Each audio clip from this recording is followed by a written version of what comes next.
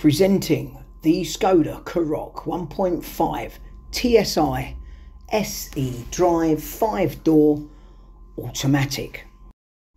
This petrol 2023 model has done less than 8,000 miles and presented here in brilliant silver.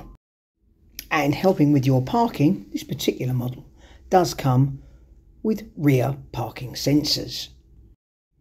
Streaming along the car as we are here, also the wing mirrors have indicators on both sides. The interior is cloth seated with an 8 inch digital display in the centre of the console, providing satellite navigation, touchscreen display with maps of Europe, and DAB radio. Also, we have Bluetooth with Apple CarPlay and Android Auto. In the rear, we also have aviation trays, a 12 volt supply. Very comfortable indeed car. The boot is quite big, giving you up to 588 litres. And that's before you put the back seat down. Put those down and you got 1810.